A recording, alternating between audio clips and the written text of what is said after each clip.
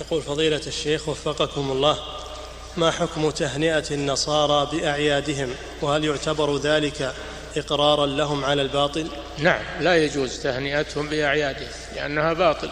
في الإسلام وعلى يقول والذين لا يشهدون الزور والزور هو أعياد الكفار لا يحضرها ولا يهني أصحابها ولا يعطيهم يهدي إليهم بمناسبتها لأن هذا إعانة لهم وإقرار لهم على الباطل. لا يجوز تهنئتهم بأعيادهم. أعيادهم الدينية. نعم. يقول فضيلة الشيخ وفقكم الله رجل يعني مثل عيد المولد عيد المهرجان والنيروز أعياد الكفار لا يجوز تهنئتهم فيها. لأنها إذا إذا هنأهم فقد أقرهم ما هم عليه وشجعهم على ما هم عليه. نعم.